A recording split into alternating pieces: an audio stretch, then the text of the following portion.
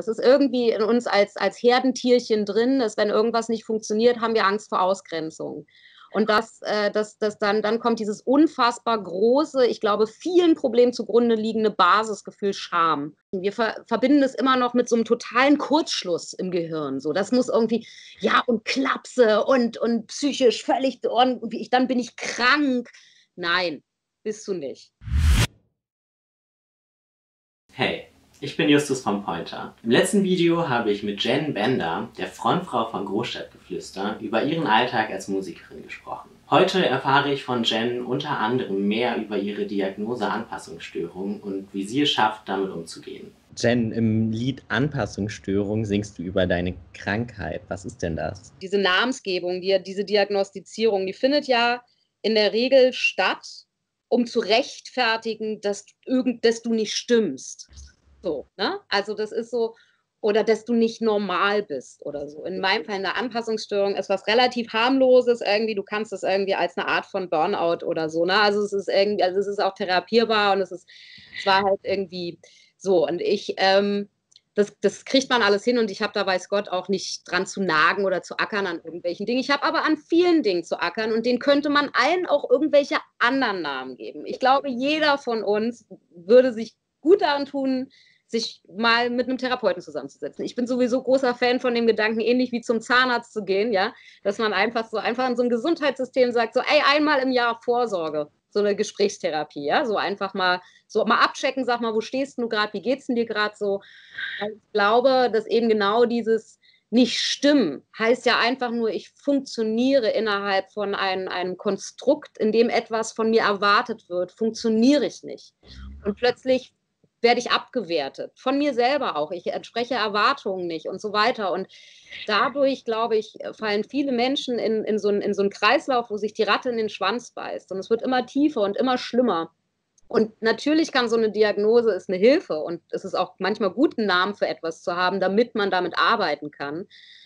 Aber das Grundproblem ist eben, denke ich, ganz oft, oder was heißt Problem, dieses sich falsch fühlen, weil man irgendwie nicht so funktioniert, wie es in der Bibel der Funktionstüchtigkeit in einem Konstrukt steht. Du hast ja gerade schon gesagt, dass es sehr, sehr wichtig ist oder dass du es sehr wichtig findest, dass man halt auch diesen Schritt macht und sich Hilfe sucht, vielleicht ja. auch sogar prophylaktisch. Ja. Das ist oft ja ein sehr, sehr schwerer Schritt. Hast ja, du Tipps, wie man den schaffen kann? Ich glaube, das ist deswegen, also vielleicht war das auch einer der Gründe, warum ich gesagt habe, komm, lass uns diesen Song jetzt machen, so, weil es hat ganz viel mit Scham zu tun. Da sind wir wieder bei diesem Nicht-Funktionieren. Das ist irgendwie in uns als, als Herdentierchen drin, dass wenn irgendwas nicht funktioniert, haben wir Angst vor Ausgrenzung. Und das, äh, das, das dann, dann kommt dieses unfassbar große, ich glaube, vielen Problemen zugrunde liegende Basisgefühl Scham. So, das ist ein furchtbares Gefühl. Und den zu überwinden ist wahnsinnig schwer. So, das ist, es ist, äh, und dieser kleine, vermeintlich von, also für Außenstehende oder für Menschen, die selber nicht betroffen sind, dieses Unverständnis, warum suchst du dir keine Hilfe? Ja, das ist, dieser erste Schritt ist meistens der aller, aller schwerste. So, und ähm, man muss sich dafür aber nicht schämen. Es gibt keinen Grund, sich dafür zu schämen, weil du nur innerhalb von einem Gedankenkonstrukt nicht funktionierst. Dieses Gedankenkonstrukt ist an dieser Stelle erstmal völlig wertlos. Wir ver verbinden es immer noch mit so einem totalen Kurzschluss im Gehirn. So, das muss irgendwie, ja, und Klapse und, und psychisch völlig, und ich, dann bin ich krank.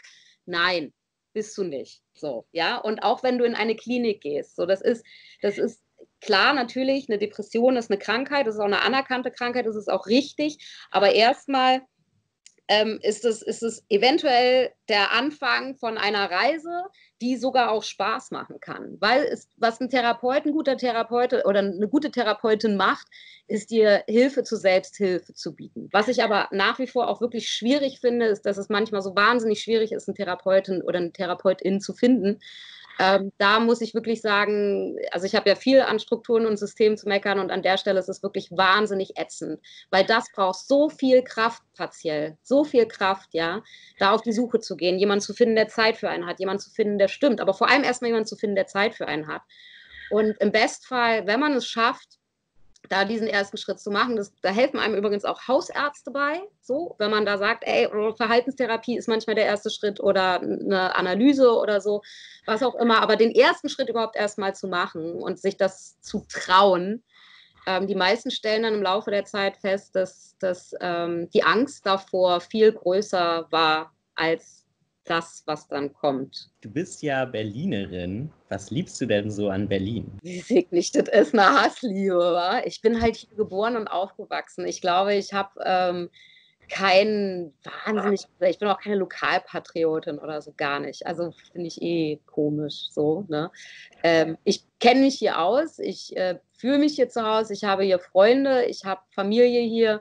Das könnte aber auch überall woanders sein. Also wenn wir unterwegs sind und ich, ich kann eigentlich an fast jeder Stadt irgendwie was finden, muss ich ehrlich sagen. Also das kann ich an einem halben Finger abzählen, die Städte, wo ich sage so, oh nee, lieber nicht. Was sind die Orte, wo du hingehst, um auszuspannen, um zu feiern, vielleicht auch um gut zu essen? Was, ja. was sind deine drei Orte, die du am allerliebsten in Berlin besuchst? Um auszuspannen, ich finde die Krummelanke ganz toll und diesen ganzen Wald, der sich da drum umstreckt. Ich mag Natur total gern. Essen gehen tue ich auch wahnsinnig gerne und auch gerne häufig.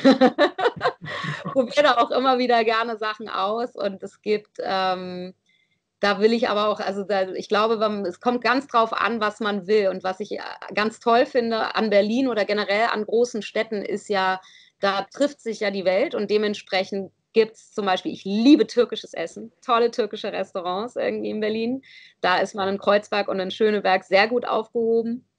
So, äh, genau das mag ich auch an Berlin. Du gehst da nicht, äh, du hast alles, du hast natürlich auch das Pizza, Pasta, Burger, Gyros, alles Ding, aber du kannst eigentlich auch wirklich zum Teil sogar richtig regional, also so einen Eindruck zumindest von etwas kriegen ähm, wie woanders gekocht wird. Und feiern, ich bin eine Kneipentante auf jeden Fall. Also ich gehe gerne auf Konzerte, so meistens dann eben von Freunden oder Bekannten. Und in der Regel versacke ich dann danach noch in irgendeiner Kneipe. Nicht in einer Bar, nicht in einer Lounge und äh, auch nicht in irgendwelchen kleinen Clubs, sondern in Kneipen. Ich finde Kneipen super. Voll mein Ding. Dreckige Holztische, Bier vom Fass, bin happy. Was sind denn deine drei großen Ziele für die zweite Jahreshälfte? Ich habe mir letztes Jahr im November mein Knie reparieren lassen. Da hatte ich eine Kreuzband-OP. Das, das ist mir nämlich irgendwann auf der Bühne weggeflogen und ich bin da sehr lang drauf rumgehinkt und habe mir das irgendwann ziemlich zerschossen.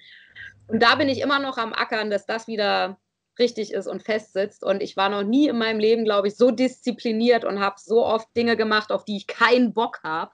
So, und in dem Fall tue ich das aber, Leute, weil ich habe wirklich Bock, diese Konzerte wieder zu spielen. Und dieser Fortschritt, und das ist alles cool und so, aber mein großes Ziel dieses Jahr ist es auf jeden Fall, ähm, wieder richtig springen zu können. Vielleicht werden es keine sechsfachen Rittberger mehr und vielleicht springe ich auch keine zehn Meter mehr hoch. Das ist okay, aber so mal so ein bisschen Seilspringen und so ein bisschen rumrennen und das, das ist mein Ziel.